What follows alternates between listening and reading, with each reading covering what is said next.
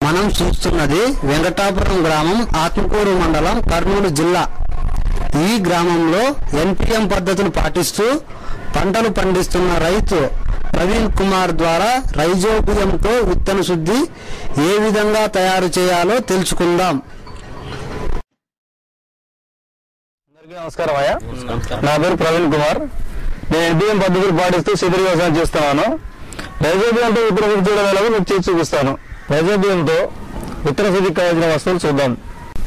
పప్పు జాతి పంట విత్తనాలు పెసర రెండు వందల గ్రాముల రైజోబియం కల్చర్ పది గ్రాముల చక్కెర నీరు కావలసినంత పాలిథిన్ సంచి లేదా ప్లాస్టిక్ తొట్టి.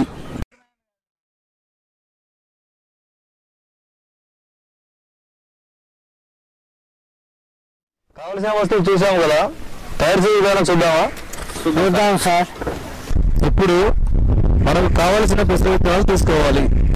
ఇప్పుడు రెండు వందల గ్రాముల రైజోబియం కల్చర్ పొడిని తీసుకోవాలి.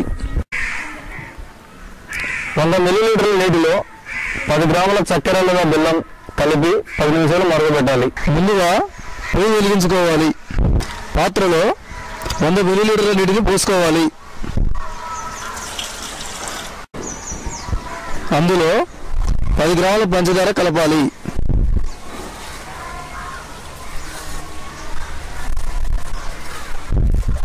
పది నిమిషాల పాటు మరగబెట్టాలి.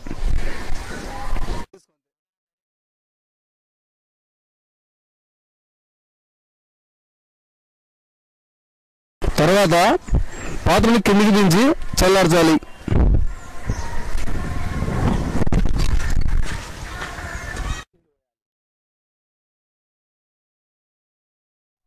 ముందుగా పెసర విత్తనాలను పాలిథిన్ సంచి మీద పోసుకోవాలి.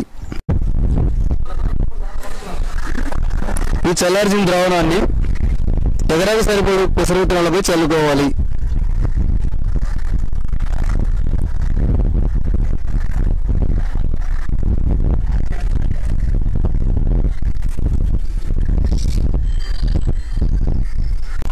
అరేబియన్ కల్చర్ను విత్తనాలపై చల్లి బాగా కలుపుకోవాలి.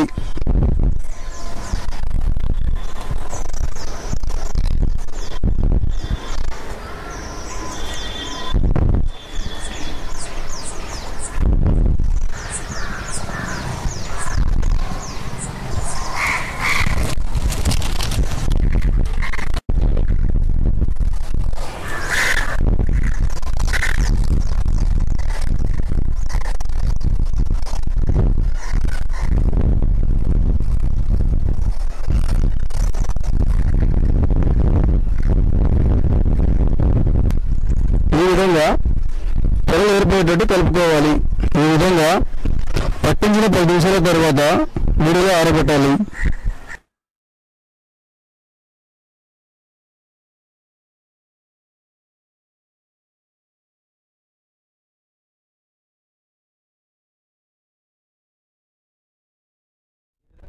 నీరులో ఆరబెట్టిన విత్తనాలను పొలంలో నాటుకోవాలి. ఇప్పుడు పెసర విత్తనాన్ని రైజోబియంతో విత్తన శుద్ధి చేయడం జరిగింది. ఈ విత్తనం శుద్ధి చేయడం వలన లాభాలు ఏంటి సార్? ఈ రైజోబియంతో విత్తన శుద్ధి చేయడం వల్ల పప్పు జాతి పంటలకు నత్రజని అందిస్తుంది. ఈ విత్తన శుద్ధి కృషులకేనా వేరే విత్తనాలకు చేసుకోవచ్చునా ఈ విత్తన శుద్ధి అనేది మినుము పెసర కంది మరియు ఇతర పప్పు జాతి పంటలకు కూడా చేసుకోవచ్చును.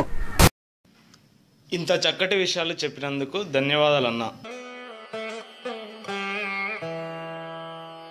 Música